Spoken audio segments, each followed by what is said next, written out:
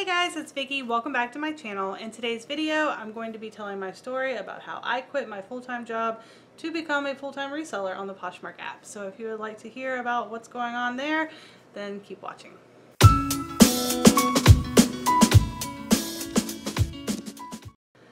Okay, so if you've watched any of my other videos, I'm wearing the same thing. It's because I'm doing all of these videos at the same time, um, just because I'm trying to do things a little differently so I have content continually rolling out. So anyway, if you don't know me, my name is Vicki. I am a full-time reseller on the Poshmark app. You can find me there at Ally Bethany. Um, you can also find me on Instagram at Ally Bethany as well. So I started reselling on Poshmark in May of 2018. At that time, I was working full-time in an assisted living facility as a med tech, and I did that from well, I was doing that from May when I started reselling all the way until February of this year. So when I first started reselling and what really hooked me was the fact the first month that I started reselling, I was able to bring in $1,500 and I think it was like in sales, but regardless, I was just like, okay, th this, this is, this is something I need to do. So I continued and each month the amount that I would make would go up and it would go up. And, you know, it was great having a full-time job and being able to make an extra thousand dollars a month. Um, you know, I had plenty of money to pay my bills and extra to go sourcing or whatever I wanted to do. Now, in February, I was like, you know what? I had hurt my back in December at my job. I was in a lot of pain. I was just aggravated. Um, I didn't have time to focus on what I really wanted to focus on, which was Poshmark. And I decided to take that leap of faith and quit my job. I put in my two weeks notice and I quit and I decided I was going to become a full-time reseller.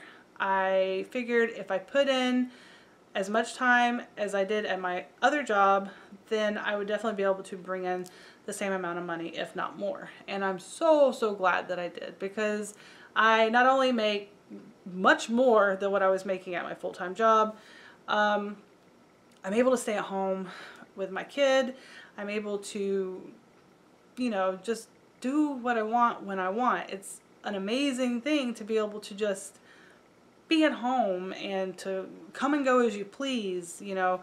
It's just, I really truly needed that. I was having such a time, you know, when you, you work a job, you know, they threaten you with firing you if you don't come to work.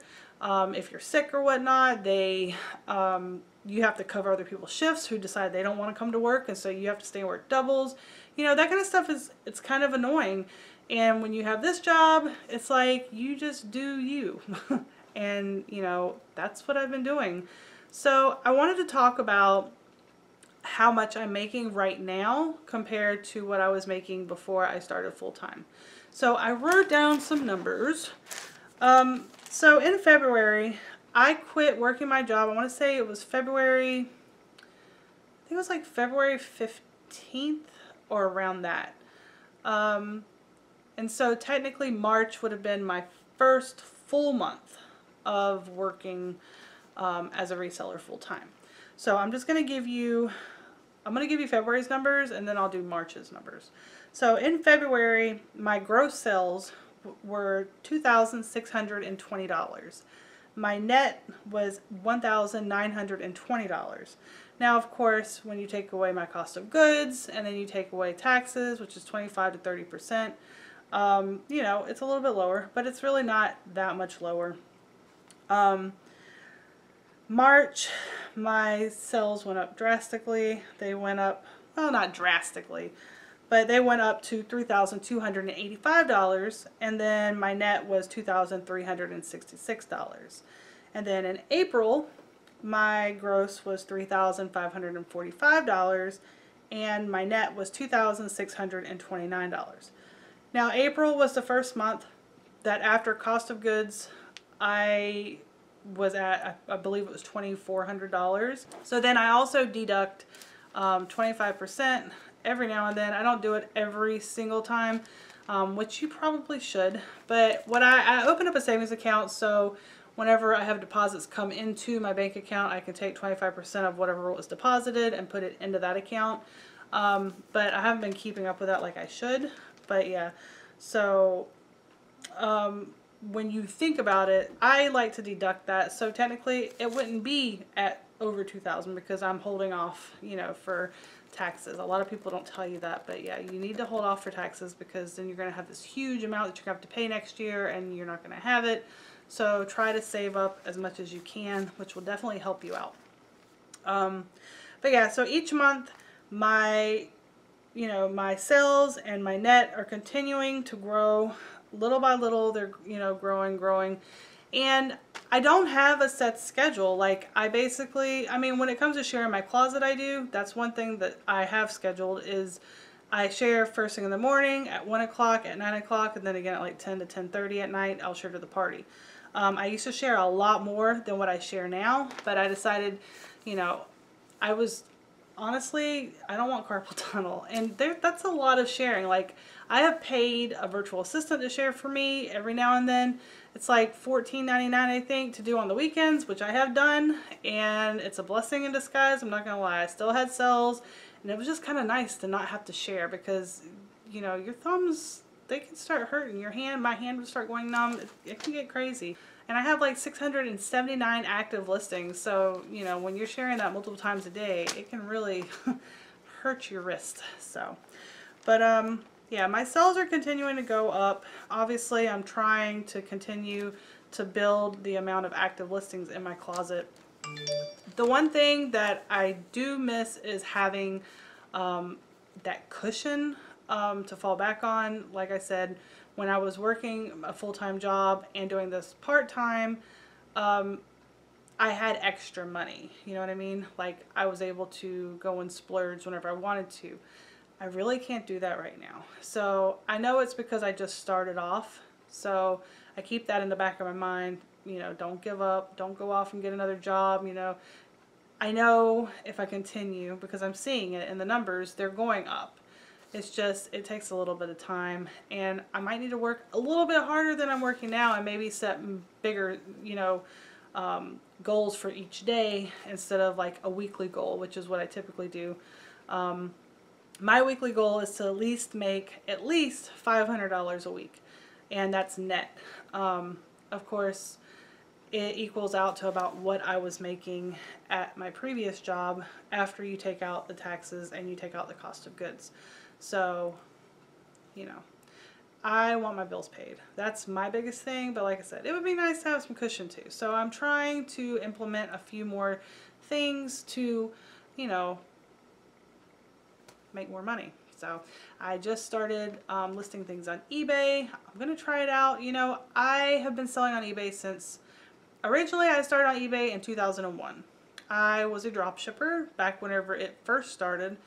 Um, and I got into some trouble and my account got suspended. When I finally got my account back, I didn't do anything with it. And then I started again reselling in 2010.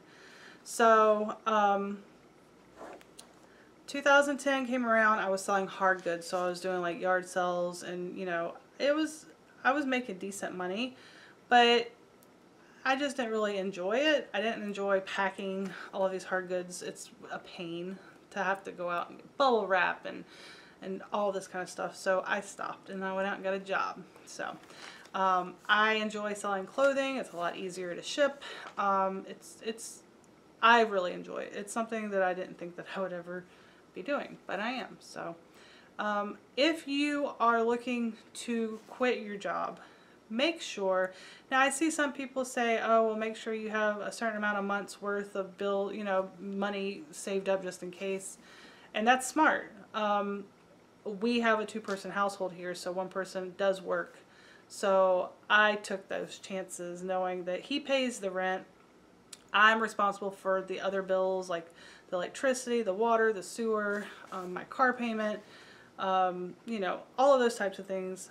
And I figured I was already making enough part-time on Poshmark to cover those things, so I wasn't really worried about it. But I would definitely, if you're able to, save up some money. Um, just so you have that cushion because that's the one thing that I'm lacking that I really truly wish that I still had. um, I'm really glad that I, I took that, that leap. There is a Steve Harvey video, which I will link in the description below, but it is something that really, it set with me. When I first saw it, I was like, you know, it makes perfect sense, you know. You will never know if you can do something until you do it. You can't just sit and think, I want to do it, I want to do it, but I'm scared. Don't let fear rule your life. If you feel that, if you're in a place right now where you're making enough that you're able to pay the bills that you have to pay, then take a chance, you know. I'm not telling everybody to go quit their job, but you know, if it's what you truly are passionate about, then do it. Because you will regret it if you don't do it. Um, I'm, you know, all I can say is just go watch the video in the description below. It's just Steve Harvey. It's like after a Family Feud show that he had, and he taught the audience, and it's an amazing and a powerful, powerful message um, about just taking that leap of faith and seeing, you know, where you can go with your gift, basically. Everybody has a gift. Some people spend their entire life looking for it, and then some people take that chance and they find it. So um, if you're good at what you do, then you will succeed. Anyway, so I think that's it. I'm trying to do a couple videos tonight just to get it out the way so I have things saved up to release over the next couple weeks because I'm going to be focusing a lot on listing on Poshmark. So I think that's it for this video. But anyway, I hope everybody has a great night and I will see you all in the next video. Bye.